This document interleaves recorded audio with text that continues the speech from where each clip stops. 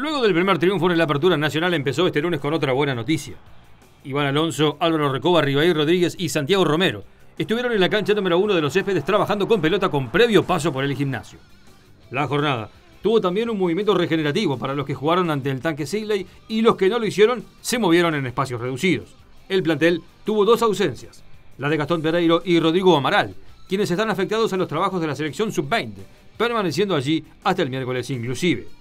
De esta manera, el plantel dirigido por Álvaro Gutiérrez ha empezado la semana que tiene como objetivo el partido frente a River Plate por la cuarta fecha del certamen en la que no estará Diego Arismendi, quien llegó a la quinta tarjeta amarilla.